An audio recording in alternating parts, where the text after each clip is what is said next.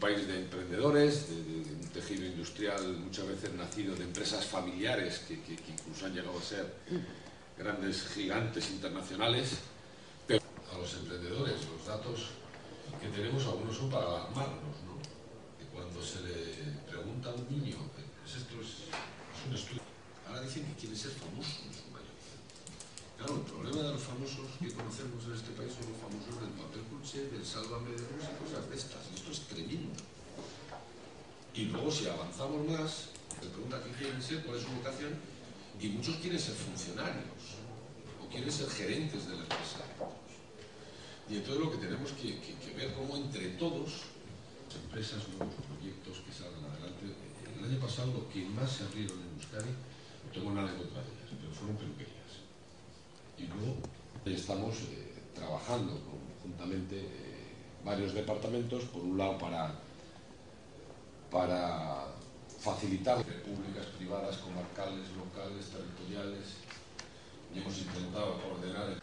También ayer Iñigo Urcullo decía que Euskadi tenía capacidad suficiente para pagar las pensiones de los vascos y de las vascas y que no que las podríamos sostener aunque nos independizásemos. Bueno, yo quiero decir que el candidato del PNV o está mal informado o es que está mintiendo, porque el saldo entre las, eh, de las pensiones, entre las pensiones contributivas y las cotizaciones en Euskadi arrastra un déficit de 2.684 millones de euros desde 2005.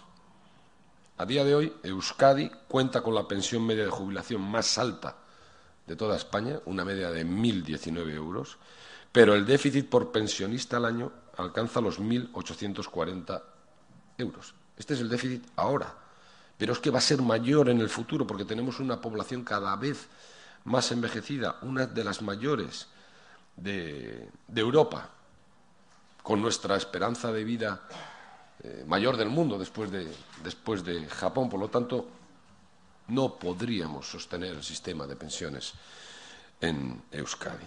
El problema es que mientras el PNV ha estado en la oposición, ha hecho justo lo contrario, se ha dedicado exclusivamente a boicotear todos los intentos del gobierno socialista de alcanzar acuerdos.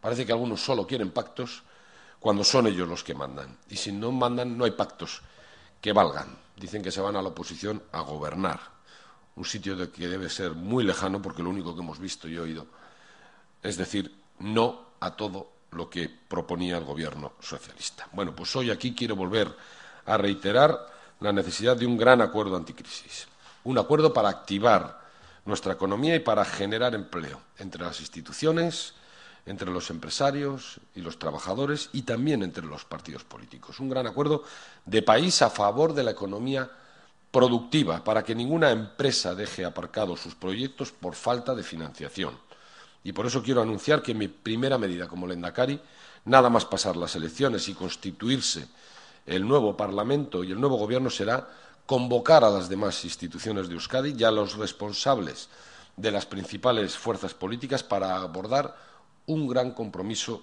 de país para activar la economía y generar empleo.